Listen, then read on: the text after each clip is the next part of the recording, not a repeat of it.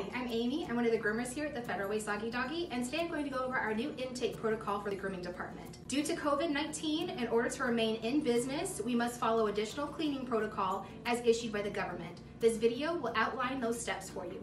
On your appointment day, before you leave home, please self-screen for signs of COVID-19. Symptoms include fever or chills, cough, shortness of breath or difficulty breathing, fatigue, muscle or body aches, headache, new loss of taste or smell, sore throat, congestion, runny nose, nausea, or vomiting and diarrhea. If you feel sick, we will need to reschedule. Please do not bring other guests with you to your appointment. Due to extra sanitization steps between interactions as required by law, it is imperative that you arrive to your appointment on time. We are going to do, be doing our best to accommodate many dogs in need and having everyone on schedule gets the pets home faster. However, please expect an out time of three to four hours as many are overdue and will require extra time.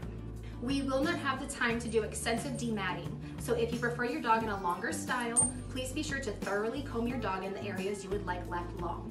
We have informational videos on our Facebook page and website if you need assistance. If you need to cancel your appointment, please do so within 24 hours so that we may book another pet in need in that spot. You will have 15 minutes past your appointment time to arrive, otherwise you'll be marked as a no-call, no-show.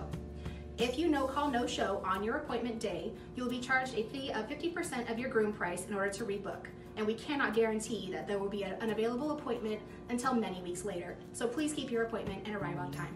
When you have arrived, please come in the building and observe the area near the grooming room door. If a groomer is conducting a consultation or with another client, please remain at least six feet away. There will be tape on the floor in order to mark these distances for you.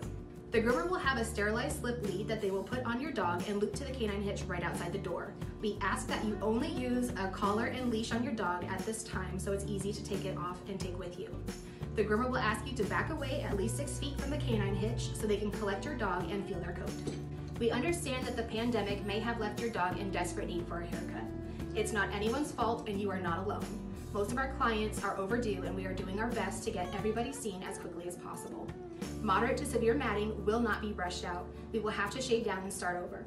Thankfully, the weather is warming up, so your dog probably won't mind the shorter style. The groomer will be very clear with you about how short your dog will be before you leave.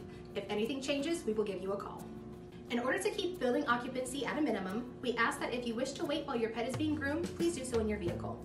If your dog needs to be shaved down, we will put the dog directly on the sanitized table, put on the grooming loop, and remove the slip lead so it can be resanitized. Your dog will then be shaved down, then bathed, dried, and styled.